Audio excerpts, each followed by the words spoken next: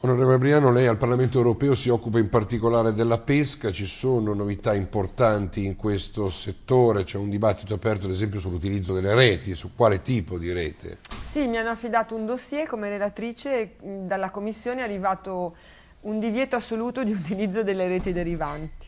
E adesso ne stiamo discutendo, la mia posizione è quella di rigettare un divieto assoluto, perché in un momento in cui noi vogliamo regionalizzare la pesca, il fatto che l'Europa decida per tutti che cosa fare è sbagliato e quindi invece stiamo cercando di approfondire, anche grazie all'aiuto che le stesse associazioni di categoria, ma anche le associazioni ambientaliste ci stanno dando, eh, di ehm, fare una controproposta alla Commissione che appunto non, non, metta questo divieto ma eventualmente vada nello specifico a definire che cosa in qualche modo va ridotto, va evitato di usare perché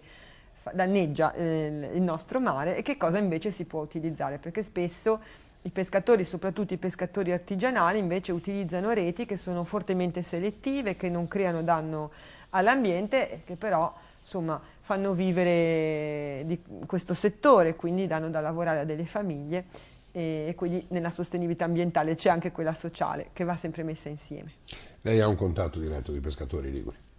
Sì, delle pause sto, col Parlamento europeo? Sì, intanto attraverso le associazioni di categoria e poi sto organizzando eh, una serie di uscite anche in mare, laddove è possibile, eh, con i pescatori, perché io credo che per parlare di un settore bisogna conoscerlo.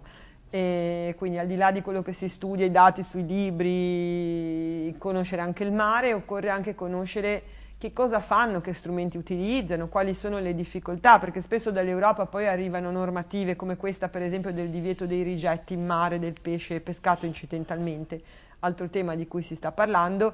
che per i pescatori industriali è facilmente risolvibile, ma per, ma per chi pesca in maniera artigianale, con barche di piccola taglia, con poco personale a bordo è molto difficile da portare avanti e quindi proprio grazie a loro e a quello che mi fanno imparare è possibile poi difendere questo settore.